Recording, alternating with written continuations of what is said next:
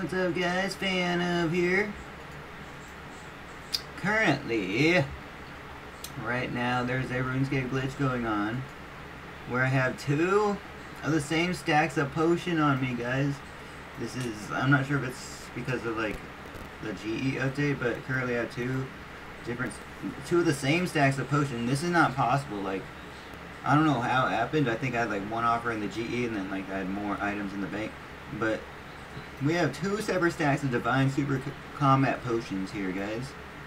So, I, I, you know, so when I, I, I tried to take an item out of the bank, and then I, uh, one of the Divine Potions, and then I put it back in, guys.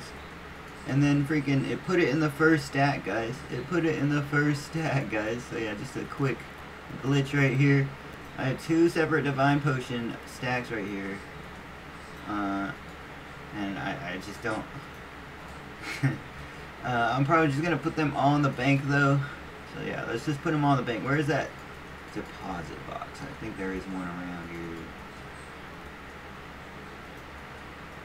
Guys, there's a deposit box in a Grand Exchange, right?